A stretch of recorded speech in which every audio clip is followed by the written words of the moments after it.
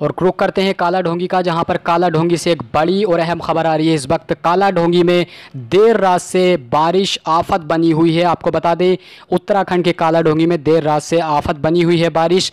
रामनगर हल्द्वानी मार्ग, भाखड़ा जंगल में, मुख्य हाईवे में विशाल काय पेड़ गिर गया है, जिसकी चपेट में एक कार आ गई है और इस कार में बैठे यात्री बाल बाल बचे हैं। तो इस वक्त की बड़ी खबर काला ढोंगी से, जहाँ पर मुख्य हाईवे में पेड़ गिरने के बाद से पूरी तरह से आवाजाही जो है, वो बंद हो गई है। तो आपको बता दें काला ढोंगी से इस वक्त की बड़ी खबर, दोनों तरफ़ वाहनों की लंबी लंबी कतारें लग गई हैं। तो काला ढोंगी से इस वक्त की बड़ी खबर काला ढोंगी में देर रात से बारिश आफत बनी हुई है।